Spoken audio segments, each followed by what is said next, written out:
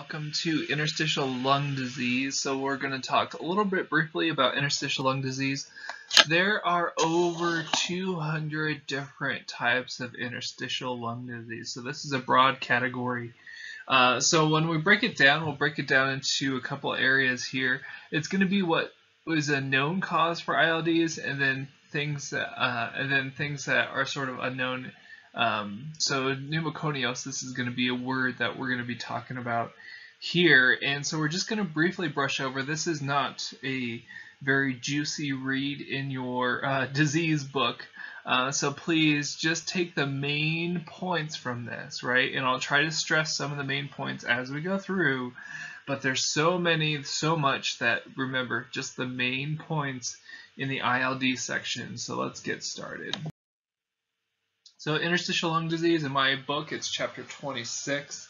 Uh, it used to be known by a couple of different names, interstitial lung disease, uh, diffusion interstitial lung disease, uh, fibrotic interstitial lung disease. Now notice that the fibrotic part is there, right? Remember what's happening to ILD, and we've talked about this in pulmonary uh, AMP, is like your lung tissue is pretty much scarring up and it's causing that fibrosis like you're you're creating more scar tissue fibrotic tissue right uh, pulmonary fibrosis these are all just alternate terms for ILD uh, this is just a, a broad umbrella term ILD is a broad umbrella term for inflammatory lung disorders, right? And that's what we're going to look at is just the inflammatory lung disorders. Like I said, don't you don't need to memorize all 200 and some odd of these. It's just understanding the main concept of ILD category, right?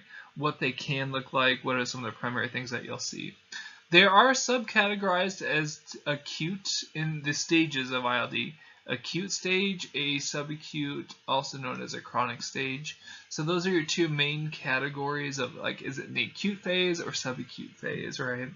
Uh, this is all about inflammation. Inflammation, inflammation, uh, usually uh, you're going to see with inflammation, you're going to see a bunch of cellular fluid and connective tissue start to form. Uh, so it becomes more elastic. In other words, the lungs are more likely to be collapsed because they're more elastic, snapping back into its original position. So their lung compliance is going to be decreased their elastance is going to be increased. Remember, this is an inverse relationship. So their lung compliance is going to be low. So if you're going to put one of these people on a ventilator that has an ILD, they're going to have very low compliance, which means it's going to be hard to deliver a breath. Their lungs are very stiff. They're very their scar their respiratory zone has a lot of scar tissue or connective tissue that's built up. If it's if they have a condition that's left untreated, it can lead to irreversible pulmonary fibrosis. In other words, they can't do anything to make that tissue more elastic again, right? Or more, sorry, less elastic again uh, to let their lung compliance reverse itself. So this is something that will be a chronic issue with these patients. Like I said, wide range of treatments, causes, uh, and prognosis depending on which ones you have. So like I said, I'll just try to hit the highlights, and that's what I want you to focus on, right? This can be very a very frustrating subject, so just focus on the highlights. Trust me in this. Focus on the highlights. Don't get lost in every single one of these ILDs that are out there. Uh, there's going to be a lot of similar and anatomical alterations. That's why they can broad uh, broad um, do a broad stroke with this because because there's going to be a lot of similar alterations um, for the lungs. And same thing they're going to have uh, similar cardiac and pulmonary uh, manifestation. In other words the hemodynamics are going to be pretty similar across the board. Pulmonary effects are going to be similar across the board. That's why they just like COPD is a broad stroke of obstructive lung uh, three obstructive lung disorders. Same thing here, ILD is sort of a broad stroke because there's a lot of similarities between these. That's why I say just get the the general idea of ILDs and if it's a known cause or an unknown cause, acute versus subacute, and you should be doing pretty well with this. So let's start off with the acute stage. So this is the anatomic alterations in the acute stage the acute stage of ILD. So this is where the bronchi, the alveolar walls, and all the alveolar spaces are involved. So massive amount of inflammation. Inflammation that leads to fibrosis, scar tissue, right? Uh, this fibrosis can lead to granulomas, just like what we talked about in tuberculosis, honeycombing that you'll see on CT, X-raying, and even cavitations being formed, which we talked about a little bit with uh, tuberculosis as well. So in the acute stage, massive amount of inflammation that leads to all these things. So inflammation is a key word here. Edema, that's that cellular debris as a result of injury. Uh, white blood cells, right, that will uh, invade the lungs, a massive thickening and inflammation, and then an increase in secretions because the body's trying to flush out whatever is causing this issue. So this is going to be one of the key things that you'll see here in the acute stage as well.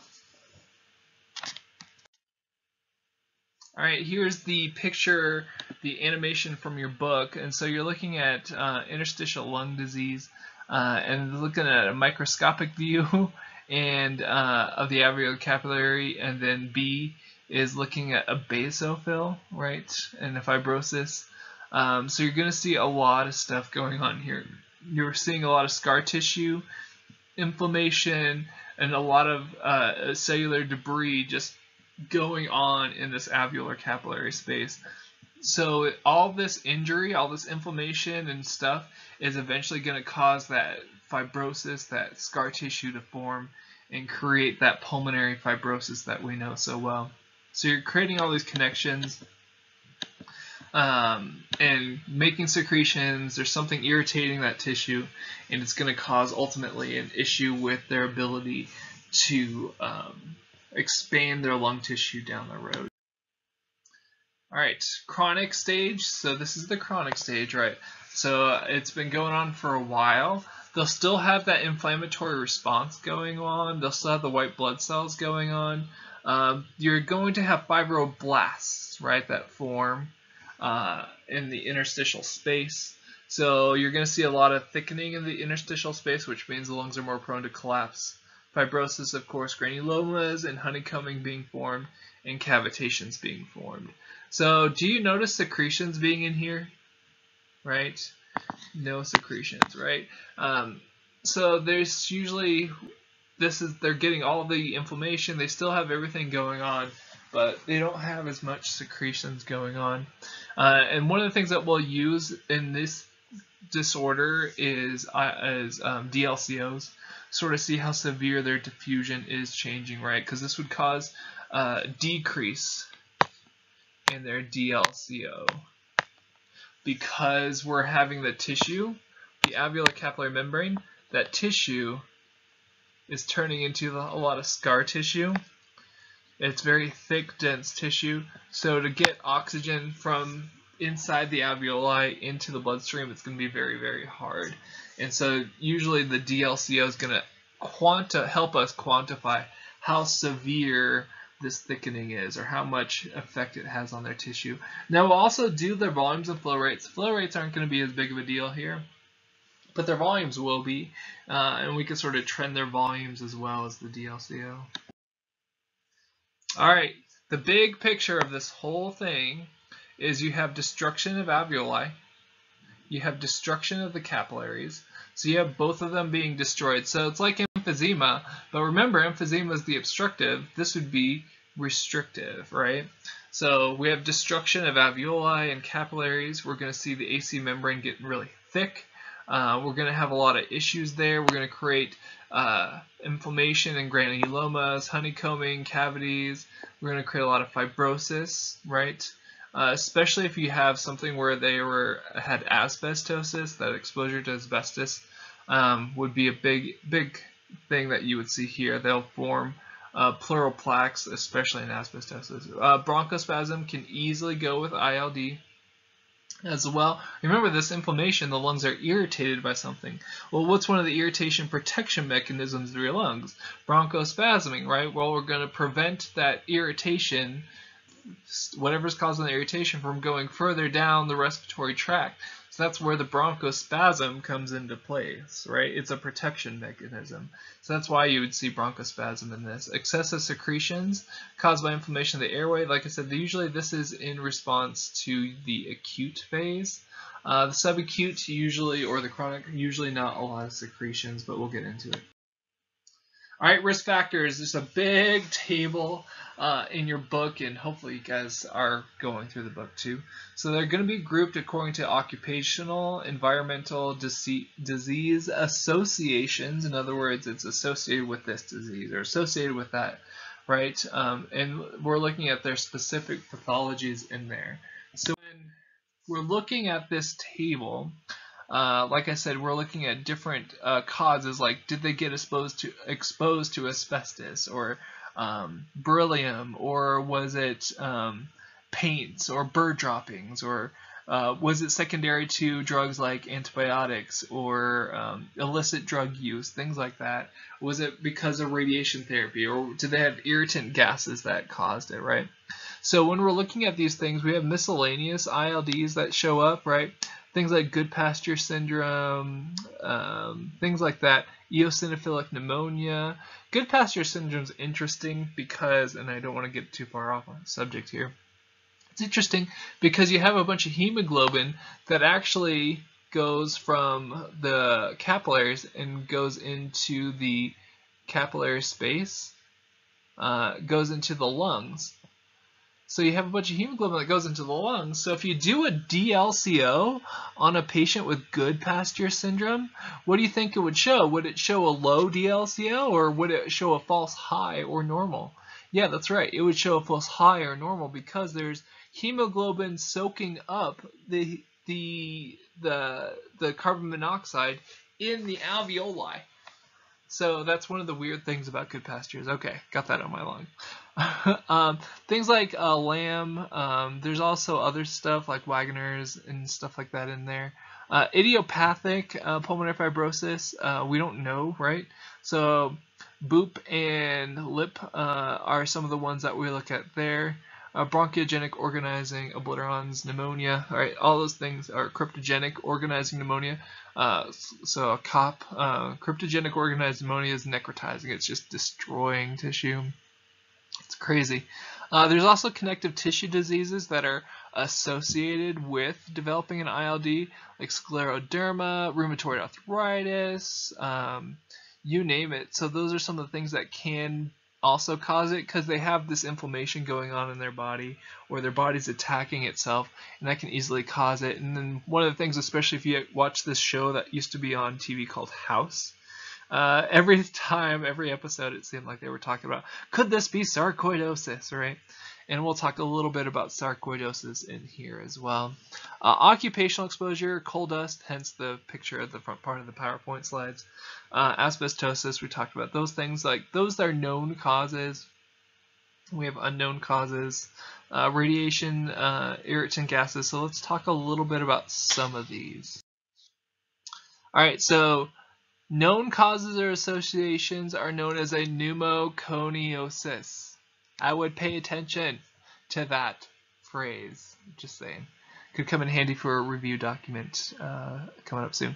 Uh, so this is usually a known cause, right? It's a known association. It's a known association as a pneumoconiosis. So this could be a dust exposure like a asbestosis, right, that we talked about here. That would be a pneumoconiosis. So if I might ask you, hey, which of the following are pneumoconiosis, right? Asbestos, that would be one that I would hope you would pick, right? Uh, so asbestos can cause asbestosis. Um, this can affect just one lung or a lobe or a segment of a lobe. It just sort of depends on the level of their exposure. Lower lobes are most commonly affected. The lower lobes are most commonly affected. The lower lobes are the most commonly affected with asbestosis. Uh, you might see some pleural calcifications too um, with exposure history. That's that. Remember, that's that one that we looked at. Like, oh, there's pleural calcifications specific to asbestosis. So that might be something we'd see on CT scan. Uh, let's look at coal dust. Right, we went over uh, asbestosis. So that's a pneumoconiosis. Coal dust is a pneumoconiosis as well. It's a known association.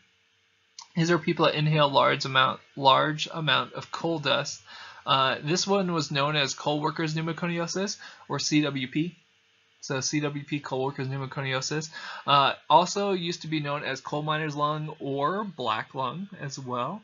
Uh, causes have been reported which coal miners' wives even developed developed this disease because of the dust they were exposed to from just the clothes that their husbands had on. So pretty significant issue. All that bad stuff that they're inhaling is causing scar tissue. It's causing severe inflammation. It's causing the alveolar um, alveolar hemorrhaging. It's causing all this bad thing to go on. And even that secondary exposure is pretty significant. So here you see a pretty picture from your book. This makes for a good uh, wall screen back, you know, a good uh, back uh, back screen for your phone or for your your computer. Uh, if you're a nerd like me. All right, so coal workers pneumoconiosis. This is what this is looking at under a microscope. Uh, so massive amount of inhaled uh, particles. These are the the black lung or coal workers pneumoconiosis that you're seeing here, and you can see all these areas where you're just getting thick, dark uh, coal workers uh, tissues. You're getting that progressive fibrosis, and you see how much thick tissue is being built here, right? Uh, when you're looking at this whole area, let me change to yellow. So you see all this like thick tissue just being formed here. It's pretty massive and it's going to be causing that big alveolar capillary uh, response as well as causing that tissue just to develop scarring and sort of cavitate and block it from affecting the rest of the tissue and stop that irritation. That's why you'll form granulomas and all these cavitations just to stop it from spreading. It's pretty bad stuff. All right, so there's two subcategories of coal workers pneumoconiosis. You have your simple and your complicated. I like how those how they do those two categories. Simple coal workers pneumoconiosis. Uh, you have some nodules that are located throughout the lungs. Um, and it'll cause what's called focal emphysema. So it's not very widespread, it's just sort of here and there. Complicated, uh, you have these nodules, but they're pretty significant. They're greater than one centimeter in diameter. Uh, and you'll see more of the upper lobes, so that means it's spread. Remember, we talked about a lot of these go into the lower parts, but these will be in the upper lobes. Uh, usually they'll have a lot of black pigmentation of these things. Uh, the dust itself is not something that's going to cause chemical change in their lung tissue. It's usually because the silica is there, and so we'll talk about silicosis here. So silica can cause silicosis. Uh, there's also some other terms for it called quartz silicosis, but silicosis is, remember, that's what the big part that was in the coal workers right thing, is that silica. So you're inhaling these things, right? And the main component uh, is mostly in rocks of the earth, so that's why that's a big part there. Uh, and it's going to be big where it can ultimately cause what's called simple silicosis or complicated silicosis. You see a theme here. Right, and the big thing here is going to be uh, uh, the diameter of the nodules that it causes. If it's a smaller diameter nodule, it's going to be simple, right? And they're usually symptom-free, right? It's very small. Uh, if it's complicated, they'll have the large masses, so greater than 9 millimeters, of fibrosis tissue, more in the upper lobes, right, like what we talked about before. Um, and usually these will form uh, necrotic or cavitations, just like we've seen in uh, tuberculosis, where it forms its own uh, fence line to contain uh, whatever the irritant is or the bacteria in the case of tuberculosis, you're going to have sort of the same thing here, but it's sort of containing that silica. Beryllium, uh, another type of a pneumoconiosis, right? These are all pneumoconiosis that we're talking about. Plastic, ceramics, uh, rocket fuels, which hopefully none of you are playing with, X-ray tubes. Um, in its raw form, beryllium's not hazardous, but uh, uh, when it's processed, it may cause a tissue reaction when it's inhaled or implanted into the skin, so please don't play with this too much. Uh, if you if you inhale this, uh, if you inhale their fumes, uh, it might cause an allergic pneumonitis, right? It might cause that sort of that that allergic response where you have the inflammation, slow reactive substance anaphylaxis, so on and so forth. Just like you have like seasonal allergies, you might have that allergic pneumonitis, right? You might have that allergic reaction in your lungs. Uh, usually that's why you might see rhinitis, right? Just like you have with allergies, pharyngitis, like with allergies, tracheobronchitis, like with severe allergies, right? So it looks a lot like allergies here. The more complex form, if this continues to go on, you continue to expose yourself to this, you might get what's called berylliosis, right? Development of granulomas in tissue uh, that you would see developing in the respiratory tract. So that would be something you'd see on x-ray or a CT scan, or they could do a lung biopsy. And a lung biopsy, an open lung biopsy, is the most accurate way they can see this nowadays. So inorganic causes, so we've been looking at organics uh, so far. So inorganic causes, aluminum is one of them. People that work with aluminum um, particles, uh, forming aluminum, things like that. Uh, especially they don't wear their masks. Um, barium, clay, iron, uh, talcs, uh, different types of powders, right? Those are all things that could really end up causing inhalation injury that develop into a pneumoconiosis or a known association, right? So these are uh, inorganic causes that also can cause uh, uh, ILD as well. So there's organic and inorganic, and these are all pneumoconiosis. These are all in the category, right? You're creating a category of known versus unknown, right? And so the known is aka pneumoconiosis, right? And you're like organic, inorganic, right? And then we have our unknowns that we'll go into in a little bit.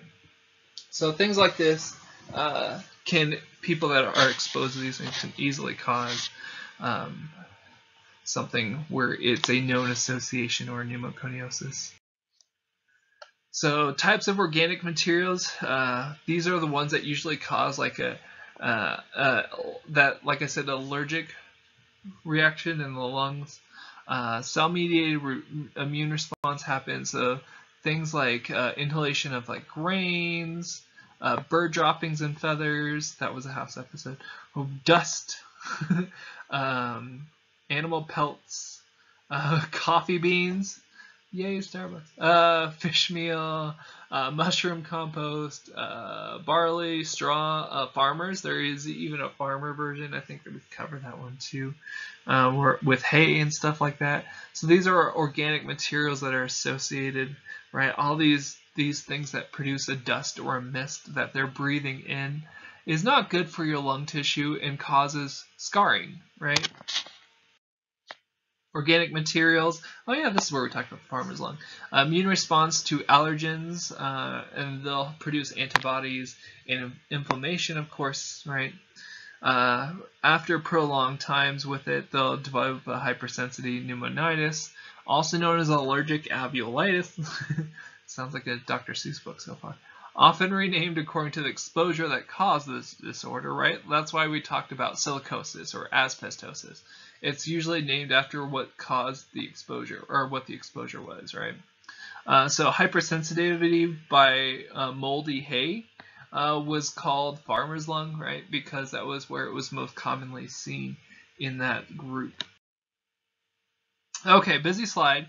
Uh, but I just sort of want you to see all the different things, the exposure sources, uh, and what and like I said, I don't expect you to memorize this list. I want you to sort of see this list and be like, oh, these are a lot of things that can cause a, a ILD, right? And there's why reason ILDs are so prominent out there, but so underdiagnosed. Usually people think uh, a person comes in with shortness of breath, you know, dyspnea upon exertion, everything's looking like emphysema, when in fact they might have a, a career where they inhale silica dust, or they might have a career like uh, farmers, right? They might think that this person has chronic obstructive pulmonary disease, when in fact they might have ILD, right? Interstitial uh, IPF or interstitial pulmonary fibrosis, right? So a lot of the times these patients will get misdiagnosed as having COPD as far as signs and symptoms and all that stuff goes until you do a pulmonary function test, until you do an open lung biopsy, until you do right something that absolutely rules out COPD. Uh, that's when they will actually catch it and change it. So a lot of times just off of signs and symptoms without any diagnostic testing, this is going to look like COPD to a lot of physicians and even to you guys too. But just look at this list. There's so many things that can cause a pneumoconiosis. Uh, other things that could easily cause uh, um, inflammation and a known association, I should say, with developing uh, ILD. Uh, long-term exposure to things like antibiotics, uh, anti-inflammatory agents. Uh, we're talking like prolonged exposure here. Uh, even cardiac drugs can easily do it too. Now, I'm not going to make you guys, like I said, memorize this list. I just want you to get the general concept that even the type of drugs that a patient could be on at home for a chronic condition uh, could factor in to causing interstitial lung disease. Right? Big point. Uh, more drugs that can also do this, and this is one of the ones I've seen the most, is the chemotherapy agents. Uh, this is something that this, these people would come in, and the big test that we want to see on these patients was the DLCO. That's sort of how they titrated uh, how strong of a chemotherapy to give because it's attacking everything in the body, right? The chemotherapy, right? It's giving you a toxic drug. It's attacking everything. The more it attacks, the, the more fibrosis that develops. So you want to see how severe the DLCO is before starting chemotherapy as well as uh, during chemotherapy. So we do this a lot, especially for like GBM patients, things like that. So chemotherapy is one of your big things, and the DLCO was the big PFT that they would want on those patients. Other things that could factor into pulmonary fibrosis, uh, illicit drugs that are on this list as well. Um, and then there are other things too. And what is this one here under miscellaneous agents? Huh. Oxygen toxicity can cause oxygen-free radicals and oxygen-free radicals in your blood system can do a lot of bad thing, right? Remember you have your antioxidants that are out there this is an oxidant, right? Uh, in excessive use, not a great thing, right? We're talking about high PO2s and high saturations for a long time. Um, so the, we're not talking about titrating to a normal level. We're talking about over correction or too much or high over or an excessive PaO2s, right? So this is where you can actually cause reduction of um, you can cause reduction of mucociliary escalator. You can cause a reduction in surfactant production. You can cause your oxygen-free radicals. You can cause your lungs to pretty much turn into scar tissue with too much oxygen for a prolonged period of time. We're not talking temporary. We're talking prolonged here. Um, drugs that uh, uh, hydrochlorothiazides, uh, even radiation can even cause uh, IPF or interstitial lung disease uh, when we're looking at all these things. Like I said, I don't want you to memorize this list. I want you to sort of get chemotherapy, drug abuse, uh, miscellaneous things like too much oxygen or radiation therapy. Things like these can all factor in to how this lung compliance of this patient works. Because remember, they're going to have low lung compliance. And it's going to factor into how easy it is to get oxygen into their bloodstream. It's going to factor in to how hard it is to ventilate these patients. It's going to factor in to them um, and their per, their prognosis ultimately. Uh, so we talked about chemotherapy agents, right? Uh, the largest group associated with ILD would be your um, chemotherapy group. Uh, and that's one of the reasons why we follow them in the PFT lab as well, so we can sort of um, watch their progression as far as their uh, DLCOs is one of the big things that we'll look at there. We'll also look at their volumes too. DLCOs is just sort of the primary stressor that they gave us in the PFT lab. Too much oxygen, oxygen toxicity, we also talked about this, uh, is also a known uh, thing to cause diffuse pulmonary injury and ultimately lead to fibrosis. Talk about free radicals, reducing uh, the mucociliary escalator. also inhibits your type 2 pneumocytes that secrete surfactant. And surfactants uh, ultimately what lubricates and keeps your lungs from collapsing. And if you take all the oil out of your car's engine, do you think the the metal parts rubbing against each other are going to make it last long, or do you think they're going to scar up and develop bad things, right? So you're taking the oil out of the engine, so to speak, and you're going to cause scar tissue to form in your lungs, right? Pretty bad. So general rule, uh, you're going to look at risk for benefit uh, overall. Uh, so that's how they're going to determine uh, dosage if they're doing chemotherapy uh, when we're looking at their PFTs. Um, sometimes it can take, it depends on the patient and how strong of a case they have, what's going to happen there. Radiation, just to touch on radiation a little bit. Usually, this is also one of the treatments for cancer. Could also cause ILD. So if you're working at a place like MD Anderson or some place that does a lot of um, that takes care of a lot of patients that happen to have uh, cancer, that's something just to be aware of when you're taking care of these patients, especially if you have to put them on a ventilator or anything like that. Is what's going on with their lung compliance? What's going on with their ability to get oxygen into their bloodstream, and why is it so difficult, right? And so that can help you make better clinical decisions as part of the care team at the bedside. Uh, chronic radiation can easily lead to fibrosis um, and even cause acute uh, pneumonitis ultimately. So they don't know exactly what causes the radiation-induced lung disease, but it's just a known association. Uh, so the exact pathway is not identified as far as I'm aware, unless they have since um, since this has been recorded. But uh, that's just they just don't know exact pathway. Sort of like uh, a xanthine is an unknown uh, mode of action uh, for bronchodilation and for increasing the respiratory drive. Same thing here. It's sort of that unknown pathway, but we know it does have effects, right? Establishment and diagnosis is similar to drug-induced disease, right? The big thing is going to be getting their history, right? And getting an open lung biopsy. You're going to see open lung biopsy is what I'm going to stress as far as diagnosis of an ILD. Once again, an open lung biopsy is what I'm going to stress as far as diagnosis with an ILD. Once again, I'm going to stress that an open lung biopsy is going to be one of the best ways to diagnose an ILD. All right, what about irritant gases, right? And this is where I, I said this in the other presentation as well. Uh, if you can see it or you can smell it, uh, you should not be breathing it. Uh, that's just a good general rule of things. Uh, so if you can see it or smell it, um, maybe that's when you, you use a mask at your job, things like that. So irritant gases can cause a chemical pneumonitis. So that's something we have to be aware of. And in severe cases, that pneumonitis can lead to an ILD, right? That's that chronic exposure to that that irritant. So chlorine is going to be one of the first ones, right? I talked to you guys about that 18-year-old lifeguard that got exposed to it, right? Continuing to get exposed to it year after year after year, so on and so forth, could easily lead to an ILD, right? Ammonia, ozone, like they see in welding, uh, NO2, or sorry, N2, uh, N2O, nitrogen dioxide, yeah.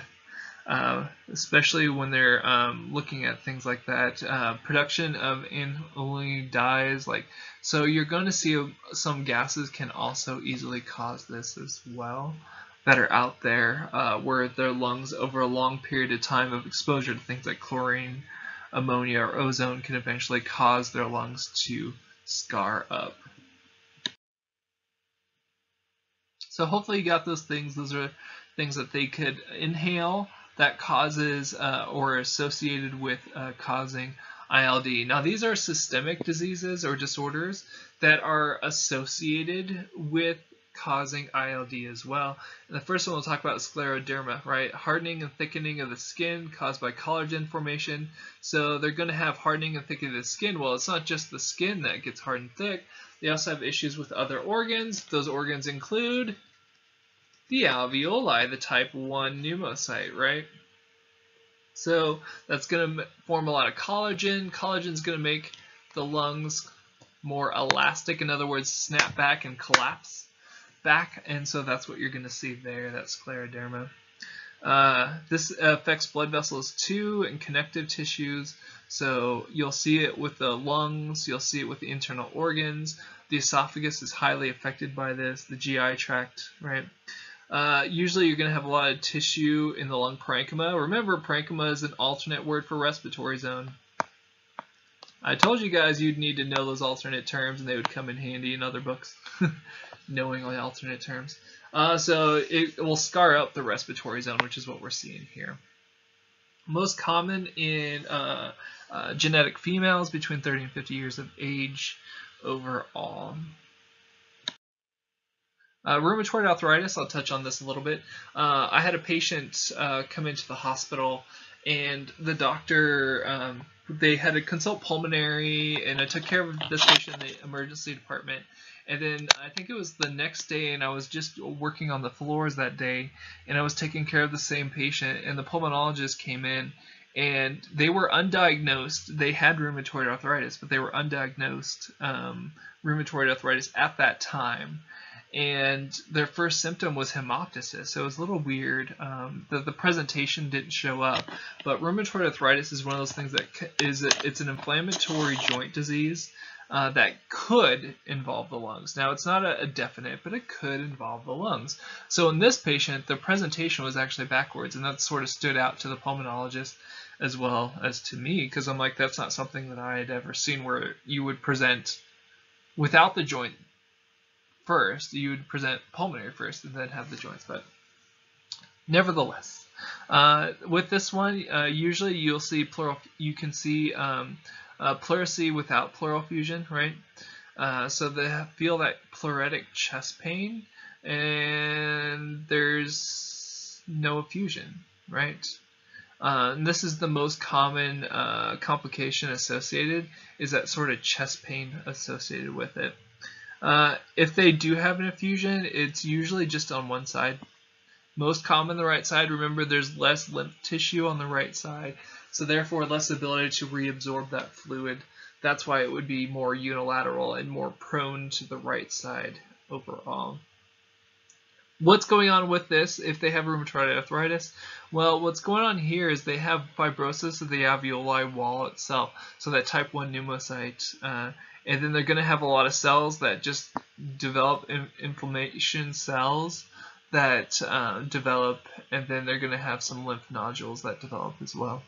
Uh, these are more common in male patients when you're seeing the rheumatoid arthritis, uh, especially when it's affecting the lungs. So I went more common in genetic females, now more common in genetic males, just sort of balance that out for you. So pulmonary nodules generally appear as well um, um, on masses and progress to cavitation in these individuals, and this is where a CT scan, a high-res CT scan, can come in handy as well. All right, sarcoidosis, this is a big one. You'll see this out there, uh, especially, like I said, episodes of House. Almost everyone had sarcoidosis, right? That was one of the things they were rolling out. Uh, unknown origin for sarcoidosis, that's what makes it so interesting. Uh, and then they're going to have this uh, necrotizing tissue or non-caseating granulomas. So the tissue is going to be necrotic. It's going to be eating. It's dying. It's it's infested tissue, right? Um, common sites of sarcoidosis: the lungs, the eyes, the liver, the kidney, the spleen. Sorry, mucous membranes, uh, saliva. Uh, usually the lymph glands are involved. So there's a ton of things. And one of the the Diagnostic procedures that can be very helpful in sarcoidosis would be endobronchial ultrasound or an EBUS bronching uh, where we sample the lymph tissue. Uh, so not just for lung cancer, but that's something we could also look for sarcoidosis on as well. So you would be assisting with an EBUS, right? That's something that you as an RRT would be helping with as well. So just a little side note there, EBUS could be diagnostic in a sarcoidosis case. Uh, the lung is the most frequently affected organ. The lung is the most frequently affected organ. The lung is the most frequently affected organ. Let me draw exclamation points. Um, I would remember that. Uh, with manifestations including ILD, enlargement of the lymph nodes, of course, and or combination of both. So in sarcoidosis, I would remember this. This would be a good test question. Uh, the lung is the most frequently affected organ in sarcoidosis. Uh, hallmarks in include immunoglobulins, so they'll do some blood work as well to look at IgM, IgG, and IgA overall. This can be anywhere between 10 years old and 40 years old. Highest incidence in your young adults, those 20 and 30 year olds. Uh, more common in genetic women than men, uh, especially among African Americans. I'm unsure of that correlation, so uh, if you know, let me know. So IPF, inter, inter, idiopathic pulmonary fibrosis. This is uh, just varies in how severe it is, and in severe cases, it can cause honeycombing. So if we have someone with IPF, uh, which is uh, is something we're suspecting on a patient, we'll do a biopsy, but if we do a CT scan or an x-ray, you might see honeycombing. That would be a sign of the severity. Um, the precise cause is unknown, so this is not a pneumoconiosis, right? We have an unknown cause. We don't know what's causing this patient's IPF, right? They didn't inhale silicate dust. They weren't working with asbestos, right? This is an unknown cause. This, so therefore, this is not, I will repeat that, this is not a pneumoconiosis. Right? It's idiopathic. All right, separated into two major areas, desquamative and UIPs. Uh, desquamative, uh, usually you'll have hyperplasia and desquamatization of the type 2 cells, which produce surfactants, right? And that's a huge ordeal, right? That's you taking the oil out of your car's engine. That's you, the engine then breaking down and causing um, that metal rubbing against each other and breaking and shearing things, right? So that hyperplasia and desquamatization, right? We're destroying things that that that secrete surfactants pretty bad. Uh, UIP, inflammatory cells and fibrosis, uh, you you have a lot of distortion of the the respiratory zone structure. Eventually, you're going to see that honeycombing, right? Remember we talked about honeycombing being a sign of severity up here in that first bullet point. Uh, prognosis with a DIP is significantly better than UIP. So if you had to pick, do not pick UIP. Hopefully you'll never have to make that decision at all, and no, no one ever gets to make that decision ultimately. So IPF is not great. There's no known cause. And it, it usually will have a breakdown of your type 2 cells, and it has two subcategories. One of them is just type 2 cells. The other one involves uh, severity, where you're distorting the lung tissue overall. Uh, COPS are also used to be known as BOOPs uh, cryptogenic organizing pneumonia. Uh, this is also uh, where you have tissues that plug the small airways. So tissue is plugging, not mucus plugging, tissue plugging this, right? So that's why they call it bronchiolitis obliterans, or that's why it used to be called bronchiolitis obliterans organizing pneumonia, or BOOP.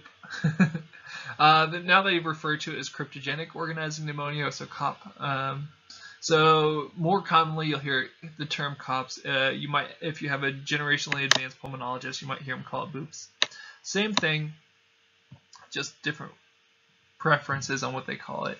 Uh, you're going to have the uh, cell infiltration around the respiratory zone, hence the term organizing pneumonia. So it's going to present as a severe pneumonia initially. It's idiopathic, so it's been associated with connective tissue disease or gas inhalation and infection but it's idiopathic overall. Um, but it's it is associated with an event usually. That's what this is saying. It's idiopathic, but it's associated usually with an event. Uh, the X-ray on a cop uh, is going to be uh, uh infiltrates, right?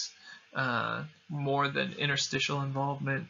So it's going to be sort of that hazy ground glass type look. Uh, usually, as with everything else, the open lung biopsy is going to be the best data uh, that you can get for this, right? Uh, it's one of the ILDs with the both restrictive and obstructive pathologies that are present. So this one's going to be a combined PFT, right? You're going to see low flow rates and you're going to see low volumes. Right? You're going to see both. Because you have these tissue plugs, that's what creates that obstructive part of a BOOP or a cough whichever one you want to use.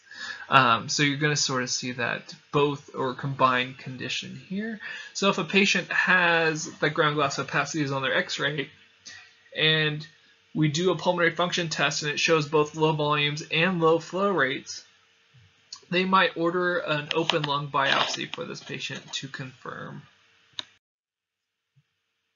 All right, pulmonary alveolar proteinosis. I don't want to get you guys lost in the weeds here. Like I said, I don't want you to sort of memorize all of these, right? Get the general ideas about them. This is one I put, I purposely at, made sure to put in here because a lot of people will get misdiag, will get diagnosed with asthma, right? If it walks like a duck, talks like a duck, right? Swims like a duck, it's probably a duck, right? So a lot of people uh, they'll have um, they'll be diagnosed with asthma. Not a lot of people. There will be people that are diagnosed with asthma that instead of having asthma might actually have pulmonary alveolar proteinosis. And there's case studies like this out there. And like I said, you can always verify me. You can always go look up this stuff separate from me, but you'll see that out there too. So alveolar proteinosis presents a lot like asthma. So it's unknown, right? So this is not a pneumoconiosis unknown uh, where the alveoli become filled with protein and lipids. Lots of proteins and lipids, right? And similar to surfactant produced uh, by type 2 pneumocytes, um, usually seen in more of your middle uh, 20 to 50 years of adulthood age, uh, more likely to be genetic males. Um, uh, usually, they're not going to sort of be able to distinguish it from pulmonary edema which is why they have that sort of that dry cough, bronchospasm. It's gonna look, they're gonna be wheezing. It's gonna look a lot like asthma, right? Diagnosis in this one is a transbronchial open lung biopsy or an open lung biopsy. So this one would be an EBUS or an open lung biopsy. Uh, um, usually, uh, we could also do a regular bronch with a BAL a bronchial alveolar lavage where we wedge the scope as deep in the rest as deep in the area as we can go and we fill it with a bunch of uh, normal saline and then we suck it back out and then we sample that fluid that we sucked back out into this Lukens trap so we sample all that fluid in the Lukens trap, and if we see a lot of that lipoproteins in there, that could be a sign they have pulmonary alveolar proteinosis. But these patients, like I said, some of these patients that are diagnosed with asthma, like severe asthma, can actually have pulmonary alveolar proteinosis and just be mixed diagnosed with asthma. So not something that happens to every asthmatic patient. There's just something to be aware of. You'll see case studies here and there where these people are asthmatic and then they go to do a bronch. And sure enough, they have pulmonary alveolar proteinosis from a BAL. All right, bedside presentation. All right, back on track. I just went off a little bit there so you can sort of see a little bit of a sample of what's going on there. Definitely remember some of the highlights that I put in there, but like I said, don't memorize every one of those screens, right? If you do, great. If you don't, but I'm not pressuring you to do so. Uh, presentation. What did this patient look like if they were to show up? Well, they're going to be tachypneic, right? If you can't breathe deep, you're going to breathe fast, right? Pain and anxiety, especially if there's pleural pain, uh, heart beating fast, especially because it's associated with cyanosis. Hypertension, that's that anxiety part two. Uh, pain and anxiety causes hypertension as well, right? Someone's in severe pain and anxious, their heart rate and their blood pressure are going to be super high, separate of the, the clinical signs, right, that are going on. Uh, digital clubbing can happen, especially if there's chronic cyanosis. Of course, edema, a dry, non-productive cough, especially that dry cough, just that irritated, dry cough. Uh, is going to be increased, dull percussion note, very flat noise. Very flat noise. right, hardly any reverberation at all. Breath sounds are going to be bronchial, very deep tone. You might hear atelectatic crackles going on, pleural friction rubs, especially in the asbestosis thing that we were talking about. And then finally whispered pectoriloquy. Remember, the tissue is getting more dense, so that's what increased firmness, that make the percussion note dull, all that bad stuff. X-ray. So this is going to vary depending on what you're looking at. Um, you might see what's a, what's known as a retronodular pattern, and we'll get into what that looks like here. Uh, you might see regular shaped opacities, those like granulomas, um, cavities, honeycombing, all these things might be what you're looking at there. And finally, it, depending on how severe it is, you might see a pleural fusion, especially on that right side. All right, so this is one I took from your book. This is a retro reticulo, sorry, reticulonodular pattern uh, in a patient with scleroderma. So obviously it's affecting their lungs. And you can see how how ground glass, it looks like patchy uh, nodular patterns that you're seeing sort of develop on this x-ray um, going on. And then you just see all these little holes all over the place. So you see it's just destroying the tissue. Pretty bad. Uh, this is a patient with asbestosis, so they have that um, inhalation of asbestos. So this would be a pneumoconiosis, and you notice it's affecting the apices or the bases. Which one? Right, the bases here, right? And so this is just sort of that patchy, infiltrated look that you would see with an asbestosis. All right, so here is another patient uh, this is one of the where you're looking at the pleural plaques that can form. Which one goes along with pleural plaques? Do you guys remember? All right, I'll let you look that one up. Uh, so we did talk about one that was more associated with pleural plaques, uh, and that would be your asbestosis. Uh, thickening of the pleural margins you sort of see uh, in the in the PA in the lateral oh sorry, AP, that's an AP X-ray in a lateral view that's going on here. And so you can sort of see that, that thick um, calcified line that's formed here. That's why it shows up oh, opaque, right? You sort of see that, that really dense opaque line. That's what you're looking at there. That's what you see. That pleural plaque all right, here's another x-ray. This is the acute farmer's lung. So this would be a pneumoconiosis, right? Diffuse parenchymal ground glass GGOs, right? Ground glass appearance. So it looks like someone broke a bunch of glass, threw it on the screen, and you're looking at an x-ray through that glass, right? So you're going to see a lot of parenchymal. You're going to see a lot of respiratory, a lot of interstitial um, consolidation going on, right? That's what's going to make it look so opacified and so so broken, right? So it looks so hazy overall. Okay, so this is a CT scan, and you're looking at the left main stem bronchus and the right main stem bronchus. Now, the cool thing about this, and just a little side note, you see how the left main stem bronchus is almost like an oval, and the right main stem bronchus is almost like a, a circle in itself? right? This is the angle of the right and left main stems, right? Remember the left main stem has that flat uh, angle, like that 40 to 60 degree, and the right one has that 25 degrees, so it's more of a straight shot down the lungs. So that's what you're seeing there. Remember, it's a CT scan, so it's a mirrored image. Even though this is the spine down here, and the sternum would be at the 12 o'clock, the spine's at the 6 o'clock, it's a mirrored image. So you're looking at the left lung with this oblong and the right lung with this straight down. So that could be a landmark you could use uh, for this as well if you're looking at uh, CT scans on a regular basis. So does this not look like a honeycombing pattern, right? That whole left lung, or sorry, the whole right lung there looks like that honeycombing pattern going on. Uh, it's just cysts, right? They're very, very large. Uh, and then this is a UIP. Remember we talked about D, um, Ds and U's, UIPs. UIPs more severe, more likely to cause that honeycombing pattern. Uh, the left lung, not as much of the honeycombing pattern going on, so it's more localized to that right lung on this patient. All right, here is another um, one.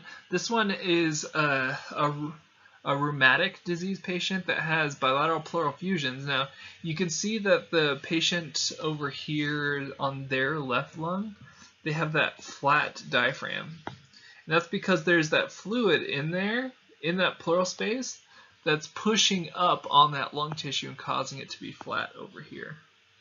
So you sort of see that being flat over here. On their the patient's right lung, you see it's a more severe. Remember, there's less lymph tissue on the right side, and therefore it's more severe.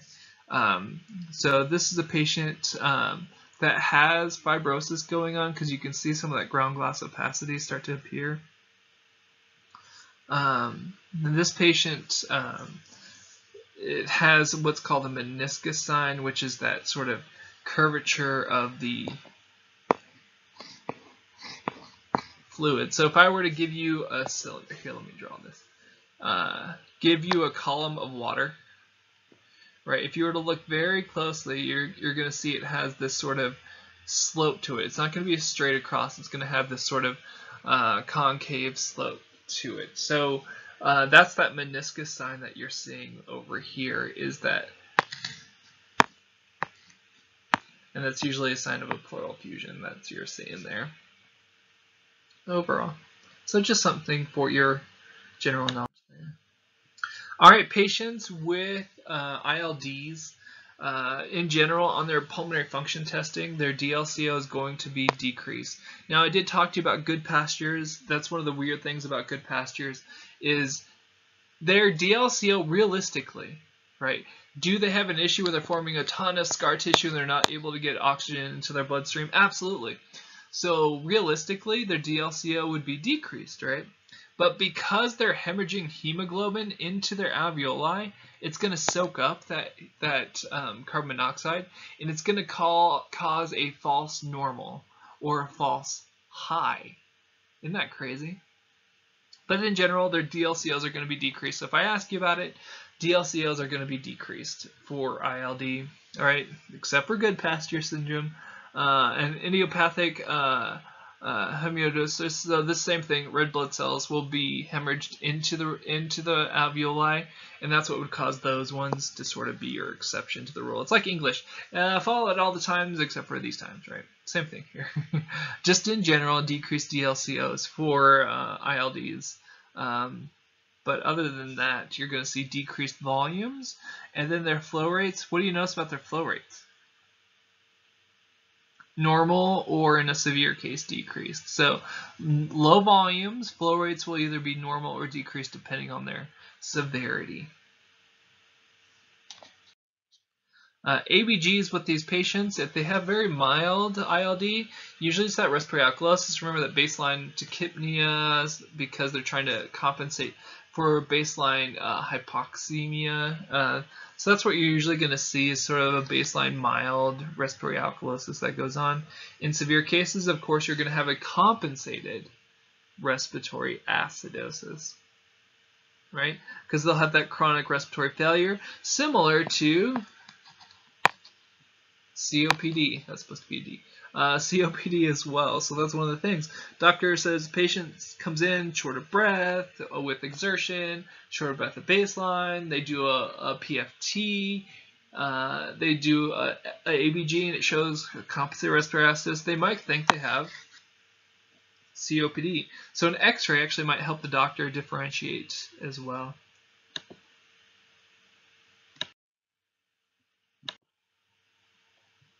Okay, so this in general is going to be a shunt-like process. Remember, we have uh, the alveoli, it's super thick and developing the scar tissue. So we have blood flow that's going right past it, not picking up oxygen, not re relieving CO2. So this is perfusion without ventilation, therefore shunt process or shunt-like process, I should say. It's not a true shunt, it's shunt-like. Uh, so DO2 is going to be decreased because your CCO2 is low. Therefore, your CaO2 will be low. Uh, your consumptions, or your metabolic rate, is going to be normal. And then, of course, your O2 ER is going to be increased because your DO2 was decreased. And then your SpO2 is going to be decreased because your CaO2 was decreased, right? Uh, and your DO2 was decreased. So shunt-like process, nothing with your metabolics. Hemodynamics. Okay, so right-sided heart pressures. And then we'll do your right-sided heart pressures. So your CVP, right atrial pressure, mean pulmonary pressure. pulmonary vascular resistance, and right ventricular stroke work index. All of these are increased. So right-sided heart pressures are increased because of hypoxic pulmonary vasoconstriction as well as a bunch of other bad stuff that's going on in their lungs. What about left-sided heart pressures? So wedge pressure, cardiac output, stroke volume, systemic vascular resistance, left ventricular stroke work index, cardiac index, uh, uh, stroke volume index. So your left-sided heart pressures are all going to be normal when you're looking at this. So a lot of right-sided heart pressures. So you can see people with pulmonary conditions have a higher propensity towards cor pulmonale or right-sided heart failure because of what's going on. And that's one of the things that uh, oxygen therapy can also help these patients with their cardiac function as well and avoid cor pulmonale. Pretty cool. Interventions, things that we could do with these patients. Uh, corticosteroids are one, is one of the options out there. Systemic corticosteroids reduce inflammation. Inhaled corticosteroids can reduce inflammation too. Remember, inhaled corticosteroids can take up to four weeks before they become clinically effective on the patient. So we'll probably start with systemic uh, corticosteroids first. Oxygen therapy, of course, pulmonary vasodilator, relieve the pressure on the right side of the heart. Uh, it'll help the patient overall unless we have oxidative injury that's going on. Assisted ventilation, especially if they're working hard to breathe. Uh, because they're going to be working harder to breathe just at baseline. If this person that has an ILD gets a pneumonia on top of their ILD, they're going to have a very severe reaction, more severe than if you and I had a pneumonia, right? So assisted ventilation can be very, very important in some of these people. Uh, and that's why an ABG will be very helpful to determine how severe they are. This patient shows up, you put your Pima scrubs on, and Pima stethoscope. Patient shows up to the ER and they're working hard to breathe, they're sweating, they're tachypneic, tachycardic. Uh, X-ray looks really opaque.